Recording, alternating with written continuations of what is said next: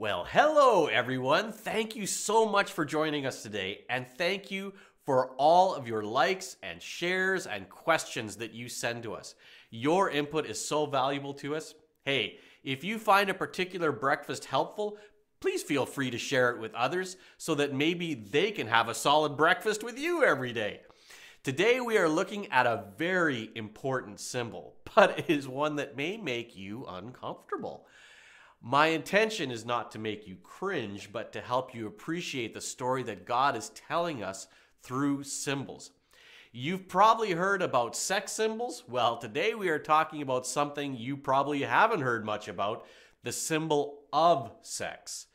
Paul writes to the Corinthians Don't you realize that your bodies are actually parts of Christ? Should a man take his body, which is part of Christ, and join it to a prostitute? Never. And don't you realize that if a man joins himself to a prostitute, he becomes one body with her? For the scriptures say the two are united into one. But the person who is joined to the Lord is one spirit with him. I won't have time to go into great detail about this symbol, but I hope to in a sermon series later this year, so stick around. But let me ask you this question Why does God care so much about sex?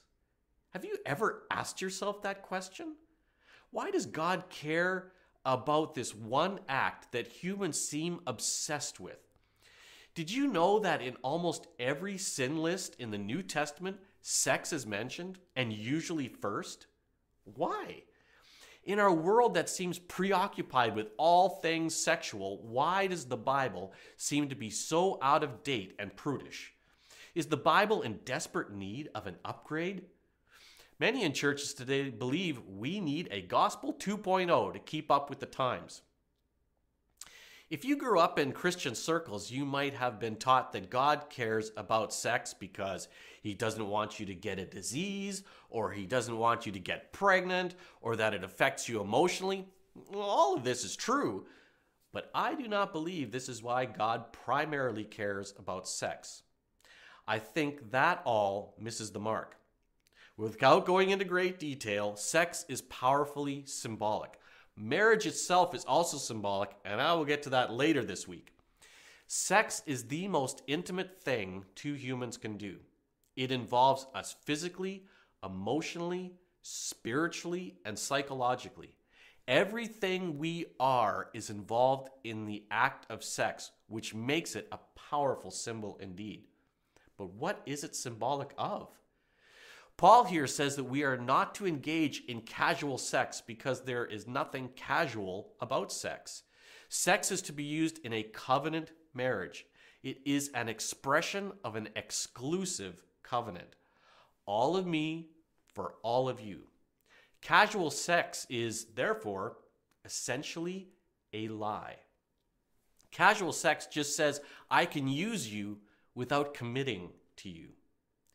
Sex is symbolic of the exclusivity of covenant, where only one man and one woman are physically designed for each other in the sexual embrace. Sex is symbolic of our future. What I mean is this we are designed for intimacy with God. The ecstasy of sex is to remind us that we are indeed made for ecstasy but not ultimately with another human. We are made to enjoy God in intimacy, in exclusivity, in ecstasy, in covenant forever. This is why any use of sex outside a covenant relationship between one man and one woman is telling a lie. You are using your body to send deceptive messages. Any other use of this powerful symbol is not the story God is telling, and sex outside God's parameters actually directs people away from their ultimate purpose to know and enjoy Him forever. Of all the symbols we are looking at in this series, this is certainly one of the most powerful and the most often abused. In a sense, the problem with sex in our world is not that most people think about sex too much, but rather they don't think about it enough. It is not that most value it too much, it is they don't value it enough. Since symbols always turn us towards something greater, we can know this the best sex you could ever have could never begin to compare to the rapturous joy you will experience in the presence of God Himself. Sex was invented not to become a God, but to direct our ultimate desire to God. Let's pray. Our Father, may we remember that sex is sacred and it is not to be used casually.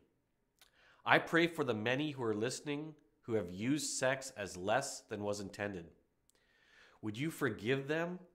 And if they are dealing with shame, would you remind them that in Christ everyone is made new?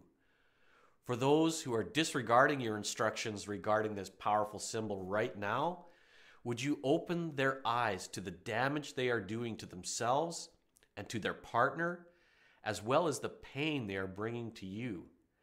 Help them to see the lie they are telling with their body and how that lie directs them and others away from you.